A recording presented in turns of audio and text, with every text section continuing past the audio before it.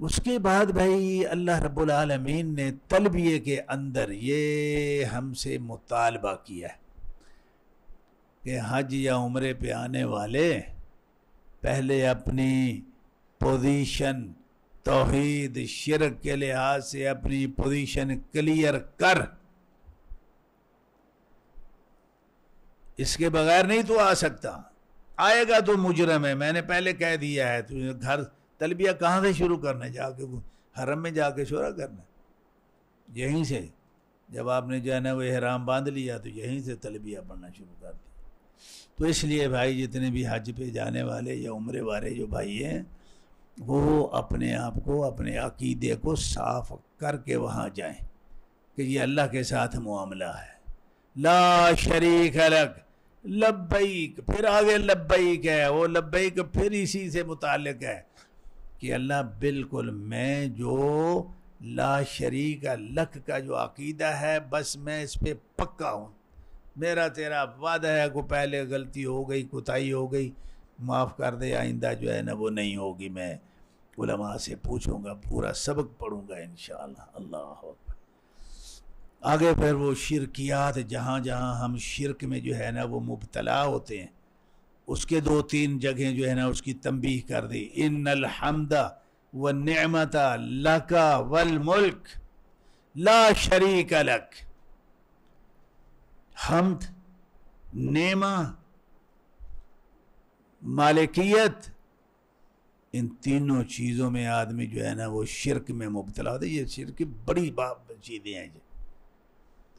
حمد کا معنی کیا ہے؟ حمد کا معنی ہے اعتراف نعمت کا۔ اعتراف نعمت۔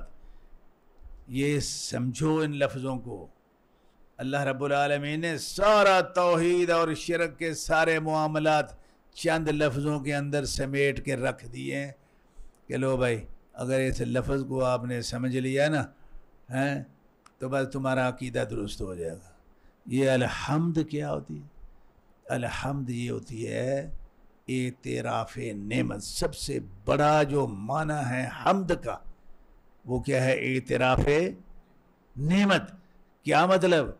جو بھی نعمتیں ہیں ہم پہ چھوٹی سے لے کے بڑی ہیں، اس کا ہم نے یہ اعتراف کرنا ہے کہ اللہ، یہ نعمت تو نے مجھے دی ہے، کسی اور نے اس کو اعتراف نعمت گئے سارا معاشرہ جو شرک میں بھرا پڑا ہے وہ یہیں یہیں سے بھرا پڑا ہے کہ نعمت دی، اللہ نے ہوتی ہے اور وہ ہم نام کس کے لگاتے ہیں؟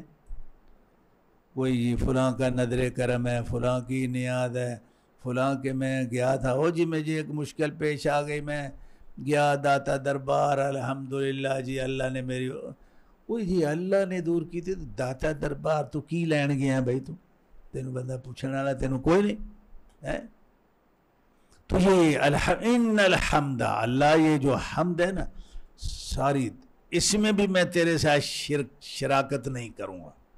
وہ نعمت پھر اس کو اور وعدے کر دیا کہ شرک جو ہے نا، سب سے بڑا شرک ہم جو ہے نا، وہ عبادات کے علاوہ وہ شرک الوحیت کا، الوحیت کی توحید ہے۔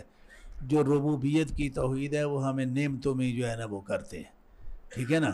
دیا، اللہ نے نام کسی اور کے لگا دیا۔ والملک۔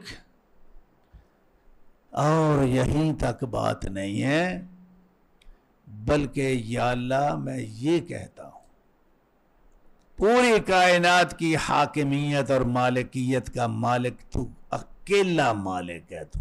لا شریک الگ اس میں تیرے ساتھ کو اور شریک نہیں ہے۔